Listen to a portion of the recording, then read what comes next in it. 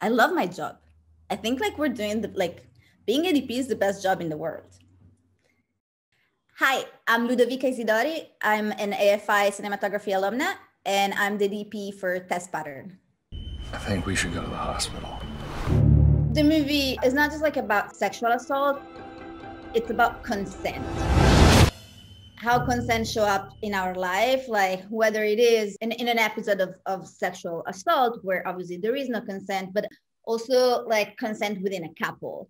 The biggest conversation was how do we open a conversation? How do we like bring up questions without necessarily offering answer? What if you have a sexual encounter with someone who at the beginning is fine and then just gets too drunk and then is not able to give you consent? You know, it's closer to real life, but also in a way where like it was approachable and digestible to like the most without just creating a pushback of like, oh no, no, no, no, but I'm not that guy. I don't need to be part of that conversation.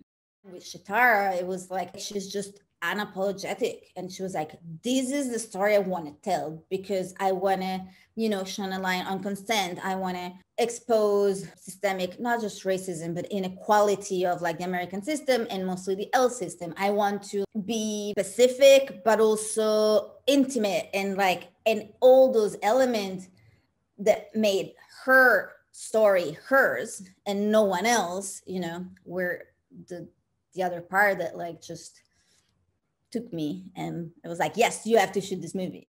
The movie has a very specific color scheme, which sort of defines the three part of the movie everything before the fact, everything after the fact, and the fact, the, the assault. And one of the choices that was made was to avoid completely the use of red in anything lighting, props, uh, clothes until the attack.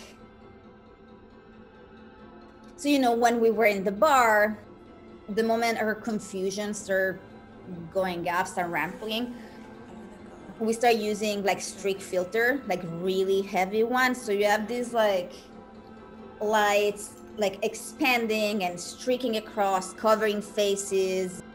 It could feel like, oh, she's drunk or she's dragged, and that's it the other levels and the other thought behind it was the confusion that you're that's created in your mind when you're thinking about you know a traumatic experience and you have a body memory of it but then there's your rational mind who's just fighting it and like trying not to remember and not to place it. We go from the bar where it's like very a swooping movement of Steadicam, and then we cut to a car, which is like really uh, like purple colors and pink colors, like almost non-realistic. And then you cut to the room where it's pieces. It's a piece of her. It's a piece of like very static, out of focus, like segments and and the idea is like yeah when you when you black out or when you you know when something traumatic happens your mind it's almost living this constant struggles to like put together sensation smell bodily memories and and, and at the same time it's fighting it. So it's it's almost like pieces that don't quite create a whole. And and then it ends with this like Zolly, which is very artificial, very um, uneasy. You know, we shot most of this movie in location. Um, and so we, you know, when you're on location, you kind of have to deal with what's there. The corridor was gray because we were shooting in, in a hotel. And so we were like, okay, how do we how do we link this to where we're coming from, which is a bar? And and and the assault scene which has this like glimpse of red not just red light but red walls. And and so we gel manually valentina valentina martinicos another afi grad who was my gaffer. Uh, we stick gel to every single tube in in the hallway. And uh, and then we have the exit sign which is naturally red. And so you have this like really gray cold like refrigerator like hallway with this red light through in slow motion the, the shutter speed is off. So it's almost like wobbling like woo woo to be almost in a lucid dream.